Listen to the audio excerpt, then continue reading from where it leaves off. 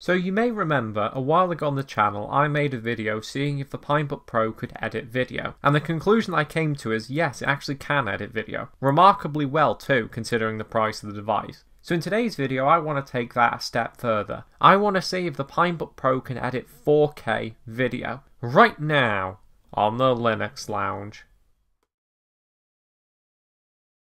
So indeed today we're going to be trying to edit some 4K footage on the Pinebook Pro. Now 4K footage is very demanding. Not only is it demanding to play back, but it is also demanding to edit it. In fact, it's very demanding to edit. So don't expect anything amazing here. But I think we're going to go ahead and see what we can do anyway. So first, I've got some 4K footage here on my desktop. This is just some stock footage, so we're going to see if the Pinebook Pro can play it back. And as you can see, unfortunately, it is very laggy. So unfortunately, I think the Pinebook Pro is just a little bit short of being powerful enough to play back 4K video. But there is still a way that we can edit this. So much like the last video I made about editing video on the Pinebook Pro, we're going to be using Kdenlive. Kdenlive is by far the best video editing program available for the Pinebook Pro. Now, if you're a video editor, you probably are familiar with proxy clips. You probably use them already. But if you don't already have them enabled, make sure that you enable them. Essentially, proxy clips generate an easier to work with version of your video that you've just imported to your video editing software. Considering the fact that we're going to be editing 4K video, you will absolutely need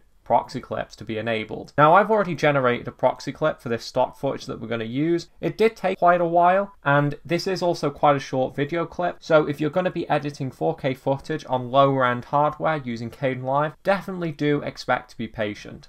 But with that said, let's go ahead and drag this clip onto the timeline and see what happens. Now do bear in mind that even though this is a proxy clip, it is still full 4K footage, so it's not going to play back smoothly. But Let's hit play and see what happens. So unfortunately, as you can see, it is still pretty laggy. Pretty much as laggy as it was when we were trying to play this back in MPV. But there is something that we can do about that. If we go ahead and click on this box here, we can actually change the preview resolution. So let's go ahead and set it to 270p. Now, obviously that's not going to look as good as our 4K footage, but if we play it back now, you can see it's completely smooth. You could absolutely edit this. So although we're going to be rendering at full 4K, the preview resolution is a lot lower than that, so the Pinebook Pro is absolutely capable of handling it. And it actually handles it pretty well. We can even scrub through the timeline, we can play it back absolutely fine. As you can see, it works really well. So let's go ahead and put a few cuts in here, and then we can go ahead and see how long it takes to render.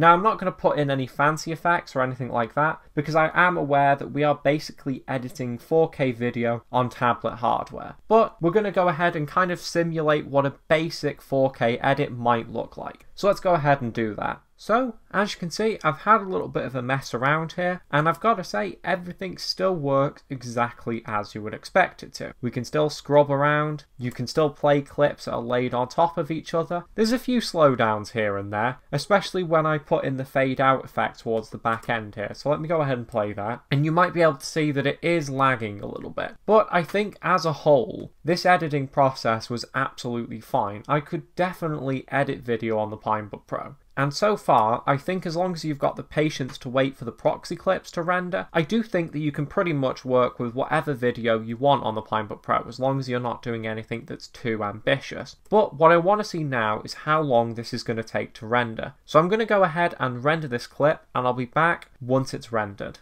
And there we go, our video has finished rendering. Now for about a minute of 4K footage, it took about five and a half minutes to render. So obviously it kind of goes without saying that that is a very long time. But bear in mind, we are working with quite low end ARM hardware here. So the fact that we were able to edit a 4K video and render it at all is very impressive. And if I go ahead and pull up the video now, you can see absolutely fine. The fade in effect that I put in is there, everything is here and working as it should be. So, I think that you definitely could edit 4K video on the Pinebook Pro. You'd need a lot of patience to do it. It takes a long time to import the proxies and it takes a long time to do the final render. But the editing performance itself is actually okay. Now, obviously, if you're working with a lot of fancy effects and color grading and stuff, definitely not. But I think for basic 4K editing, the Pinebook Pro is usable if you are very patient.